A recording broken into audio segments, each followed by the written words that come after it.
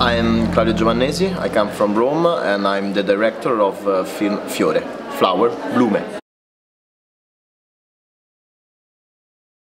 Uh, Flower is a love story um, in a place uh, where love is forbidden, the prison, prison for young.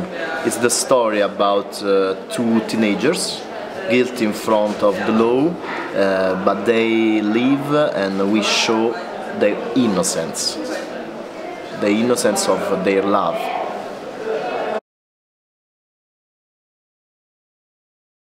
I try to uh, mix feature and documentary. What I say, I love the reality and I love the truth in the cinema and in the scene.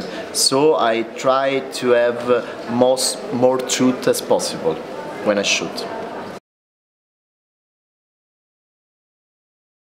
My experience is the it's different because uh, the Gomorra is a team work.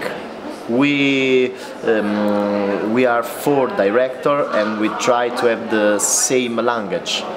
And when you when you make a movie, it's a personal experience.